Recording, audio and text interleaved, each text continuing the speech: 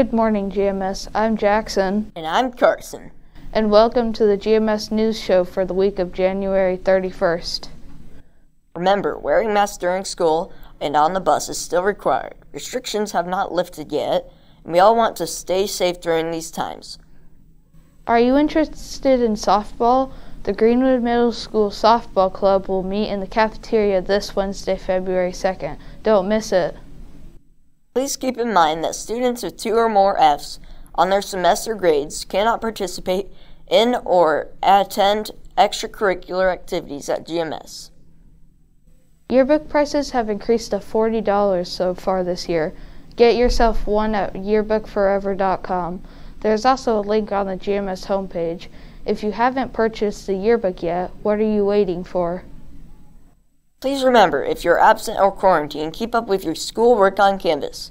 You're still expected to complete the work you miss. Now let's go to the interview of the week, top trending, and, ha- and the GMS News Sports Update. Have a great week, everybody, and remember to stay safe. Hi, I'm Izzy from GMS News, and I'm here with five weird and wacky facts you may not have known. Number one, a cloud can weigh more than a million pounds. Number two, a meteor exploded over Earth with the force of 10 atomic bombs, and everyone missed it. Number three, a human could swim through a blue whale's veins. Number four, Australia has pink and purple lakes. Number five, bubble wrap was originally intended to be wallpaper. And that concludes our top five weird facts. Have a great week.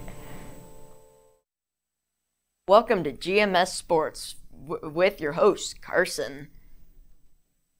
Mo- uh, Monday, January 24th, 2022, 8th grade girls basketball at Decatur Middle School at 5:15 p.m. and 7th grade girls basketball versus Decatur Middle School at home at 5:30 p.m. And then Tuesday, January 25th, 2022, boys wrestling at Beech Grove, boys wrestling at Perry Meridian, swimming and diving versus Plainfield Community Middle School at home at 6:30 p.m. In 7th grade on Wednesdays, um, January 26, 2022, 7th grade boys basketball versus Greenwood Christian Academy at home at 5:30 p.m. And Thursday, January 27, 2022, boys wrestling at Indian Creek at 5:30 p.m., swimming and diving at Martinsville East Middle School at 6:30 p.m. And that's it.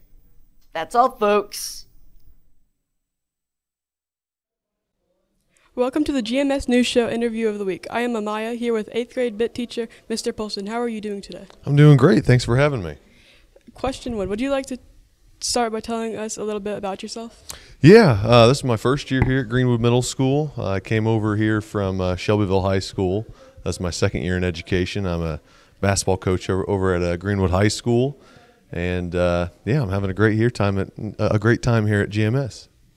Question two How's your first year at GMS going? It's going really well. Um, it's a very welcoming environment. Uh, the students are great, and, and the faculty's great. Question three What are some things you like to do in your spare time? I love to uh, play basketball, play golf, um, work out, and uh, hang out with my family. Question four Do you have any pets? And if so, tell us about them. I don't have any pets, but my wife really wants to get a, uh, a Labradoodle. Question five What does the IU basketball have to do to make a big run during March Madness?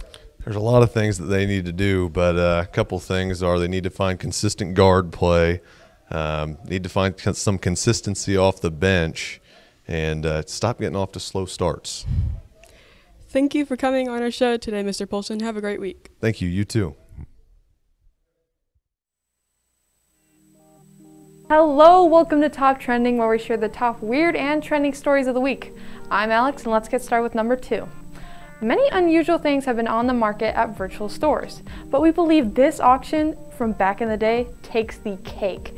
In a story that has resurfaced lately, a man from Brisbane, Australia had attempted to sell the country of New Zealand back in 2006 on eBay. A few interesting things were said in the listing of the selling, such as the dodgiest American Cup win ever and that it had very ordinary weather. You'd assume people would just brush this off as a joke, right? Wrong. The selling of New Zealand had gained $3,000 in bids until eBay had the listing removed.